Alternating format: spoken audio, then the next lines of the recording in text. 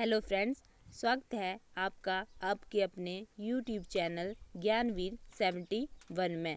सो so guys आज हम discuss करेंगे भारत के अड़तालीसवें मुख्य न्यायाधीश जी के बारे में और सर्वोच्च न्यायालय से रिलेटेड कुछ क्वेश्चन के बारे में। सो so गाइस हमारा पहला क्वेश्चन है, भारत के अड़तालीसवें मुख्य न्यायाधीश कौन होंगे?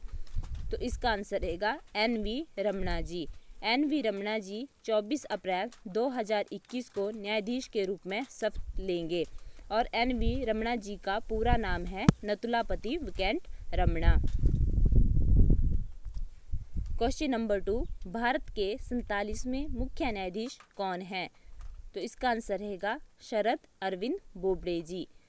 इनकी रिटायरमेंट जो है वो 23 अप्रैल 2021 को होगी। Next question question number three सर्वोच्च न्यायालय के प्रथम मुख्य न्यायाधीश कौन हैं? इसका आंसर रहेगा एच जे कनिया जी। यह क्वेश्चन मैक्सिमम टाइम हर एक क्वेश्चन हर एक पेपर्स में पूछा जाता है। तो गाइस ये बहुत ही इम्पोर्टेंट क्वेश्चन है। नेक्स्ट क्वेश्चन सर्वोच्च न्यायालय की प्रथम महिला न्यायाधीश कौन थी?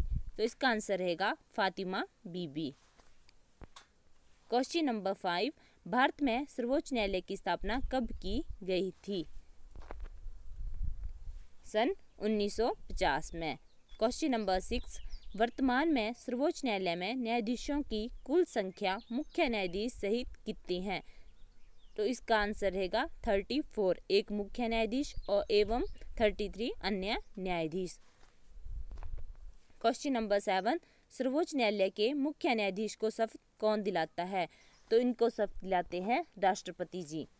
क्वेश्चन नंबर एट, मुख्य न्यायाधीश अपना त्यागपत्र किसे सौंपते हैं? आंसर, राष्ट्रपति जी को।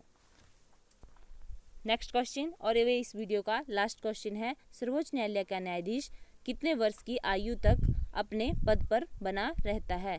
इसका राइट आंसर है सिक्सटी फाइव ईयर की एज तक।